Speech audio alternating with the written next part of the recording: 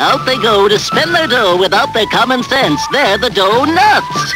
Stanley Slush was always rushed. He had no time to waste. He never thought before he bought. He simply bought in haste. So when he needed camping gear, he gave this speedy rundown. A flashlight, sleeping bag, and tent, and make it fast, because I intend to make it there by sundown.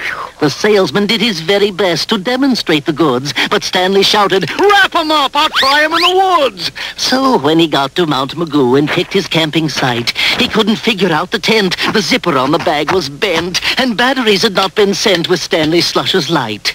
As Stanley sat beneath a rock and watched the rain begin, the moral of this story at last was clear to him. Take time to test the things you buy before you leave the store. Know what's included, what to do. Make sure it isn't broken too, because my friend, unless you do, it doesn't rain, it pours.